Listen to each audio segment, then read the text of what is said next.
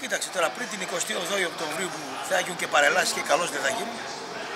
Πρωταθλητής Ολυμπιακός. Περπατιστός, καλύτερη ομάδα, λιγότερα προβλήματα. ΑΕΚ Πάο. 3-4-3 η μία ομάδα, 3-4-3 η άλλη ομάδα. Βαριά ΑΕΚ. Βαριά, κουρασμένη. Παίζει με τρία στόπερ αργά. Και τα τρία στόπερ της αργά. Παολίνο δεξιά δεν μαρκάρει ο Μιτάι, να είχαμε να λέγαμε. Κρίση Σακόφ οχτάρια δεν μαρκάρει σαν εξάρι κανείς. Ο Ασαριφάρ ήταν έτοιμος. Λιφάγια πολύ καλό αριστερά σε μεγάλο χώρο. Και ο καινούργιος Τάκοβιτ που δεν μπορεί 90 λεπτά. Μπαίνει μέσα ο Πάοκ, τους αλλάζει τα πετρέλαια. Τους αλλάζει τα πετρέλαια, αλλά δεν έχει σεντερφόρ. Παίζει ο Ζόλακ, που για μένα κακό ξεκινάει. Γιατί δεν βάζεις του Σβιντέρσκι μετά τα δύο γκολ με Κακώς τον Όφη, ξεκινάει, ναι. διότι ο Σφιντέρσκι το βλέπω ότι έχει απελευθερωθεί, έχει αποκτήσει ταχύτητα, έχει αποκτήσει ψυχολογία με τα δύο γκολ που έχει γίνουν. Και το μισό γκολ ο Σβιντέρσκι είναι με την κεφαλιά που πήρε Βεβαίως. σήμερα. ε. Κάνει τα δύο γκολ με τον Όφη. Ο άλλος γράφουν οι εφημερίδες είναι ανέτοιμος, έχει 10 μέρες να κάνει προπόνηση. Θα ξεκινήσει ο Σφιντέρσκι. Μεγάλο λάθος που ξεκινάει ο Τζόλακ. Ένα είναι αυτό. Το άλλο είναι ότι ο Πάοκ βγάζει σε πρώτο ημίχρονο αφού έχεις Τζόλακ, ε, Τζόλι, Σιφκοβιτς, βγαίνει ο Μάτο πολύ απάνω. Ε, έχει το Κιανούλη που ανεβαίνει. Ανεβαίνει ο Ίγνασον από τα τρίτα στόπερ που είναι αυτός που ε, ανεβαίνει πολύ ψηλά.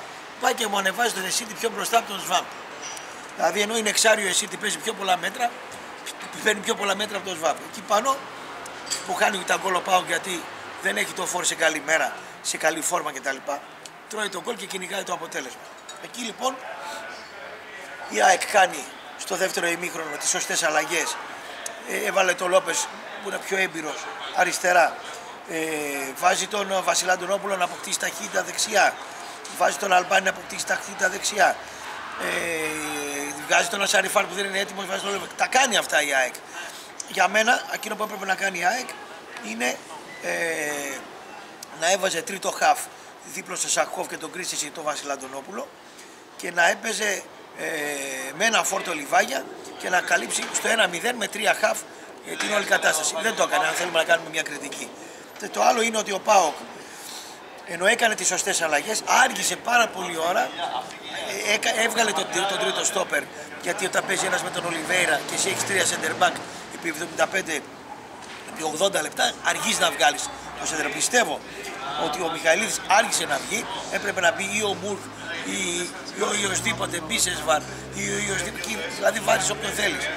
Βγάζεις τον Μιχαηλίδη πιο μπροστά, έχεις πάρει το κέντρο, έχεις βάλει δεύτερο center for το Σφιντεύσκι και πρέπει να το βάλεις πιο μπροστά. Δηλαδή τα έκανε καλά ο Πάοκ, αλλά τα έκανε σε αργό χρόνο, σε, σε καθυστερημένο χρόνο. Άρχισε να τα κάνει. Το αποτέλεσμα δεν είναι δίκαιο. Ο Πάοκ η εικόνα του ήταν πολύ καλύτερη. Πέταξε δύο βαθμούς παρά την εικόνα του ότι ο Χάρης αργά. Και χαίρεται ο Άρης σήμερα για να ε, ε, επικοινωνιακούς λόγους. Αλλά περισσότερο ο Ολυμπιακός που ήθελε αυτό το μάτς να βγει ισοπαλία. Τι καλύτερη μέρα για τον Ολυμπιακό δεν ήταν αυτή η οποία βγαίνει αυτό το μάτς χ.